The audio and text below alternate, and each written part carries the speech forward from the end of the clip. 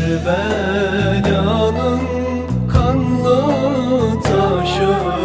Hüseyin'imin yoksul başı Fatıma'nın akan